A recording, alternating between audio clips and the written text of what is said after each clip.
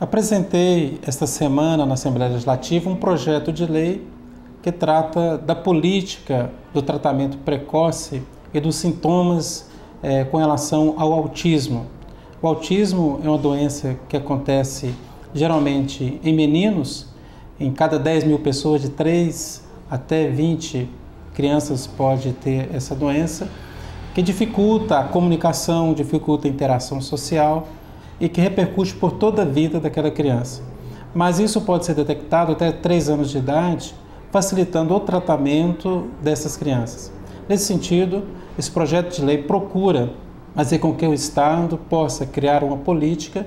que possa fazer esse tratamento precocemente, que possa detectar é, antecipadamente os sintomas e assim, é claro, poder fazer com mais, com mais facilidade esse tratamento diminuindo, minimizando as sequelas no futuro daquela criança, fazendo com que a família participe mais, fazendo com que é, a, o próprio Estado invista em pesquisa e tecnologia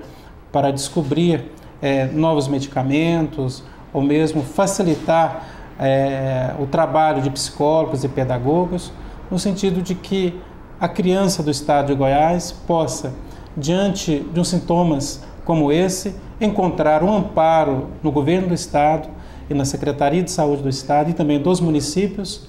facilitando o seu tratamento, fazendo com que as crianças possam ter um convívio normal na sociedade, junto aos seus familiares, na escola e possa ter uma vida é, normal em todos os seus ambientes. O projeto foi apresentado esta semana. Eu sou o deputado Padre Ferreira, direto do gabinete.